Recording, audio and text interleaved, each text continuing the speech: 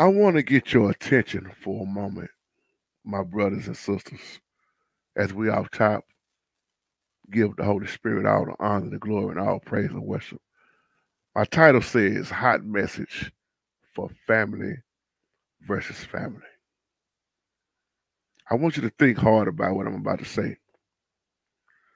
And whether you celebrate holidays or not, catch this. Next month and this month, there are going to be a whole lot of people sitting around a table. And some of them know they can't stand each other. And then there are going to be a lot of people sitting around a table and realize certain ones have died and they are no longer with you. Family. Family versus family. There are people in families that haven't spoke to each other in years, nor forgave each other in years. Now, I want to come from a biblical standpoint on how important family is according to the Bible.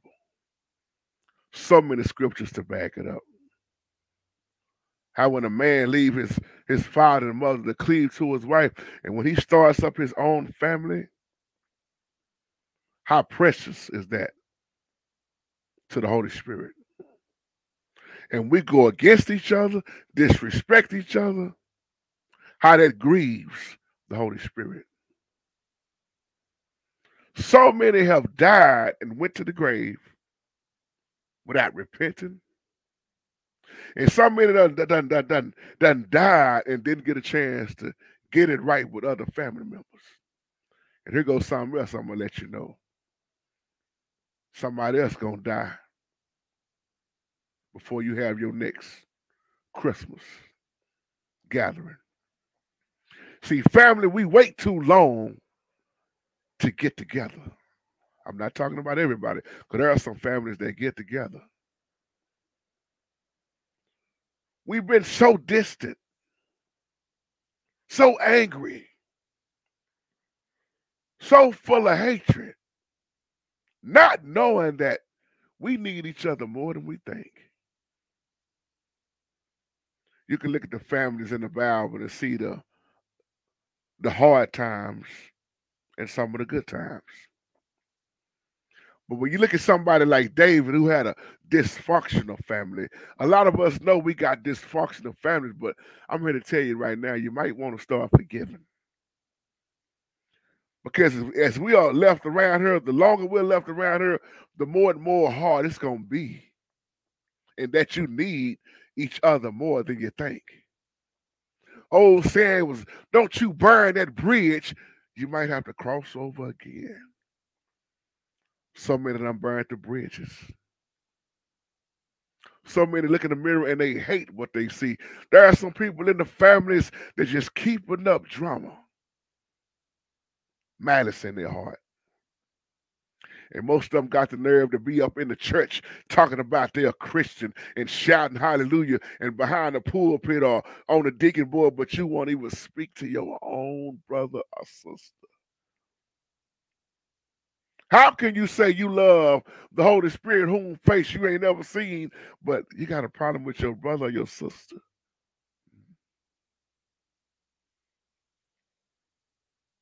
Holy Spirit don't like that. it grieves the Holy Spirit once again. I see so many family members at each other's throat. The Bible shows you how important family is, but then it also shows you a spiritual family. That's why Every now and again, the Holy Spirit will send somebody your way or somebody's your way. They ain't blood related, but you more closer with them than you are with your blood related family because it's a spiritual connection. Huh? Spiritual connection. And that's what he said about his disciples. He said, These are my brothers. Not that he was disrespecting his half brothers like James and everybody. But he, he Yahshua was trying to show us this is family. And that's what I see when I come on here. Even though we have disagreements, this is a spiritual family, a spiritual connection, a relationship that only the Holy Spirit can bring together. I never thought in my life growing up I would see so many of family members disrespecting each other, mad at each other, and go to the grave like that. Never said I'm sorry.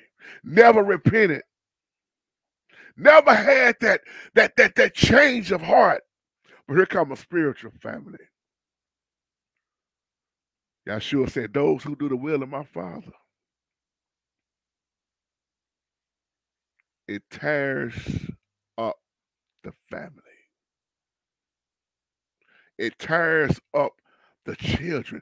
Why we can't go see such and such? Mom, I want to go. I ain't talking to him. I don't speak to him. I don't speak to her. We don't want nothing to do with them. And I understand that certain people, yeah, you got to get away from because they evil. But hopefully somebody will repent. You don't want them evil spirit around you, and you sure don't want them evil spirits to jump off of your children. But this is the time of year. Oh, it's let's get into the holiday season. What is that? So it's only for a season. So we want to get together and act like family because it's December. It's Thanksgiving, November. Now, you can miss me with that. Now some people from the family start doing something for somebody they could have did something for all year long. Let's pass out some turkeys. They've been starving all year long.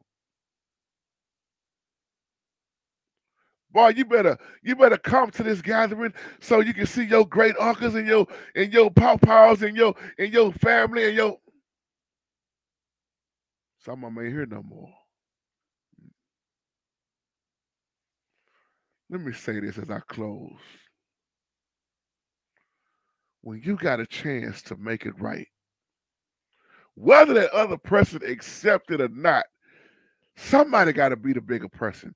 Get that hatred, get that unforgiveness out of your heart so you can be freed up and you can move on. Now, whatever they do with it, they don't accept it or whatever, don't you worry about that.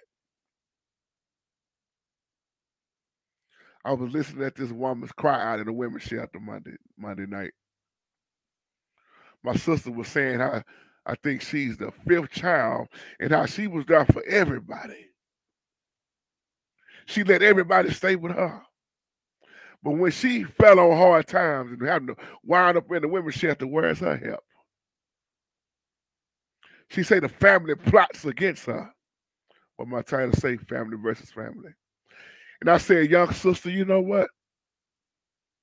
the ones that very well do you wrong and do you that bad, don't you know in the long run they gonna need you? Mm.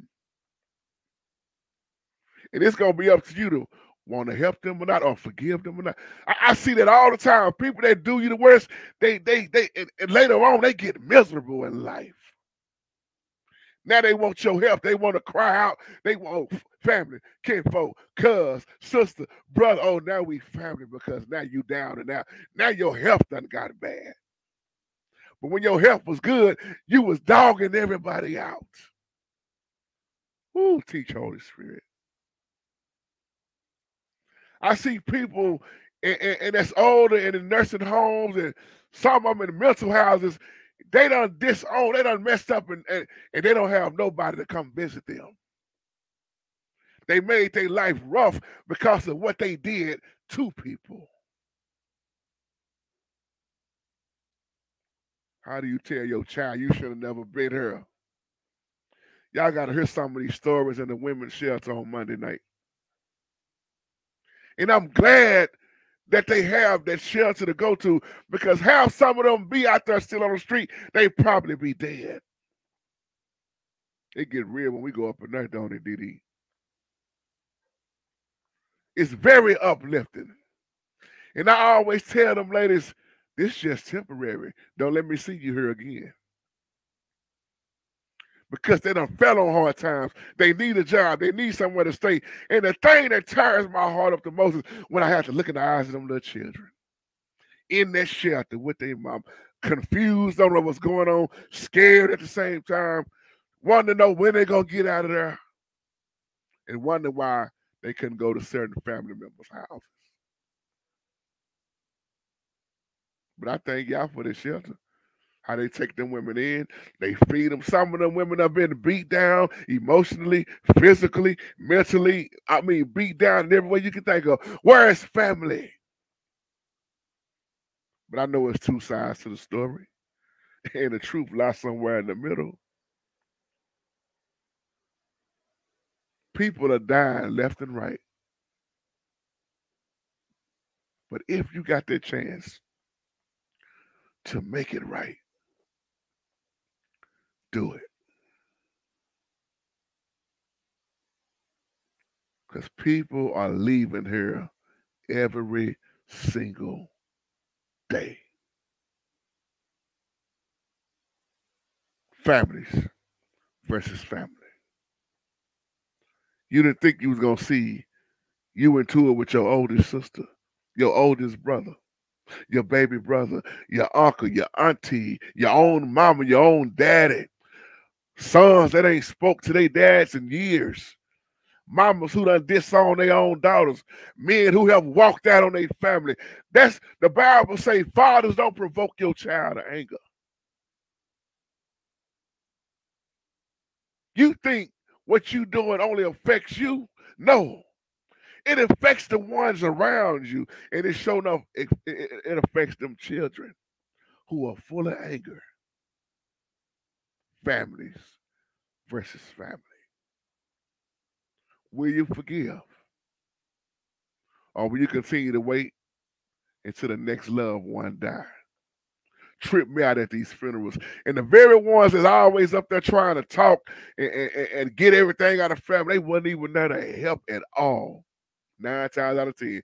Those are the ones that keep up all the hell and they wasn't there at all when that loved one was going through what they was going through. And then there's some family members sitting up waiting on some family members to die so they can see what they can get. The ones you love the hardest disrespect you the hardest. The ones you do the most for will tell you to kiss their rear end. And I leave you on that note. Families versus family. But when you get around that spiritual family, that's exactly what you need. Getting on one accord, being around like minded people who understand you. Even if you don't agree you, on everything, you still understand each other. You love each other. You encourage each other, and you won't try to harm each other. And on that note, y'all have a wonderful, wonderful, blessed day. Shalom.